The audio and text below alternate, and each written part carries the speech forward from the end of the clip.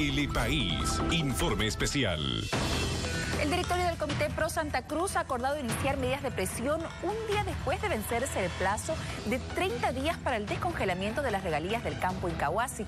Desde el MAS critican el inicio de movilizaciones, mientras que en YPFB aseguran que en un plazo de hasta 25 días se conocerán los resultados del segundo estudio técnico. Más detalles en este informe especial.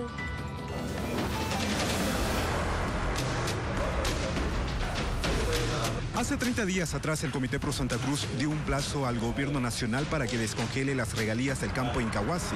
Transcurrió el tiempo y no hubo respuesta. En tal sentido, el directorio cívico se reunió y determinó lo siguiente. Convocar a una reunión de emergencia para este día jueves para llamar y convocar a una asamblea de la cruceñidad. Vamos a comenzar a hacer vigilias vamos a comenzar a hacer bloqueo esporádico. Al conocer la determinación, los sectores aglutinados al ente cívico cerraron filas, decidiendo apoyar las medidas que se adopten en la Asamblea de la Cruceñidad de este día jueves. Hacemos parte de las resoluciones que se tomen a nivel del directorio. Por supuesto, nosotros estaremos al lado de Santa Cruz. Todos somos incoaguas y de aquí para adelante y todas las medidas que se adopten todos debemos asumirla. Nosotros como universitarios venimos a plantear varias medidas, entre una de esas es una marcha. La máxima autoridad de Santa Cruz, el gobernador Rubén Costas, también respaldó las medidas de presión que ha decidido el comité cívico. Siempre será acatada por el gobierno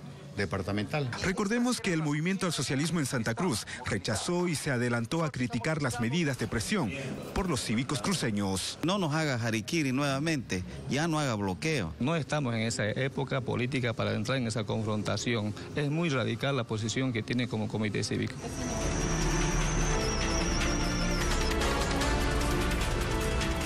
Pese que el gobierno moral de los cruceños ha determinado medidas de presión para que el gobierno nacional inicie con el descongelamiento de las regalías del campo Incahuasi, desde IPFB se ha informado que ya se inició con la elaboración de un segundo informe técnico sobre el campo gasífero. Esta empresa lo que va a hacer es el estudio general de todas nuestras reservas a nivel nacional. El menor tiempo posible son 20 a 25 días máximo. ¿Y a qué santo otro estudio? ¿Acaso se va a mover la serranía de Incahuasi? ¿Acaso el pozo va a migrar al otro lado? Fíjense la estupidez. A este conflicto se suma el pedido de los siete alcaldes de la provincia cordillera, quienes piden a la gobernación cruceña la administración directa del 45% de las regalías del campo Incahuasi.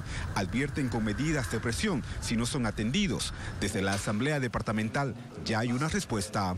De que esos recursos sean devueltos al municipio productor y al resto de la provincia cordillera, el 45% de manera directa. Porque algo que hay que dejar bien claro, las regalías son constitucionalmente departamentales. Recordemos que este día jueves 26 de abril, en el Tribunal Departamental de Justicia de Santa Cruz, se desarrollará la audiencia para resolver el recurso de acción de cumplimiento interpuesto por la Brigada Parlamentaria de Santa Cruz para el descongelamiento de las regalías que genera el campo Incahuasi.